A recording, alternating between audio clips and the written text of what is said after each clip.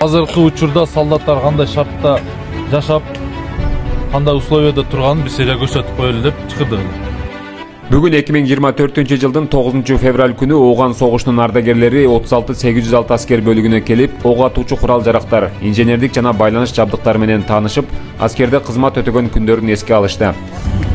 Спутник аркылуу андан кийин репитер ретранслятору аркылуу байланышыбыз боло берет. Азыр кыргызстаныбызда көп жерлерге жерге коюлуп калды өзгөчө азыр ушул жерден туруп бишкек менен баткен менен байланыша берсек болот андай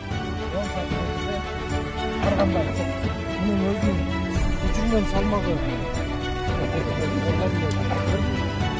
аскер кызматкерлери курал жарактар жана заманбап жабдуулар боюнча кеңири маалымат беришти ошондой эле жоокерлердин жашоо шарты аскердик казармалар менен тааныштырылды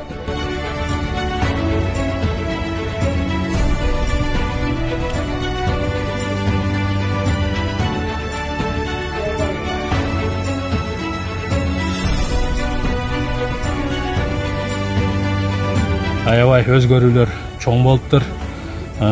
Коргоо министринен президенттин тапшырмасы менен болуп атабы. Ошо баардык техникалар курал жарактар мына нерселерди көрсөткөн көргөзмөлөрдүн баардыгы жаңы техникага уже өтүп мына немеге өткөндүгүнү белгилеп турат. Казармадагы шарттар мурунку биз жаткан маалдагыны ойлоп кирдик элек азыр биз кирсек башкача азыркы шартта башкача. Ар биринин өзүнүн орду менен койканы алсак мурунку биз жаткан койка менен азыркы койканын айырмасы чоң аябай чоң. Бирок шарт жакшы. Куралдаш досторума афганистанда кызмат кылган досторго болгон баардыгына афганистан чыгарганын отуз беш жылдык майрамы менен куттуктап кетемин.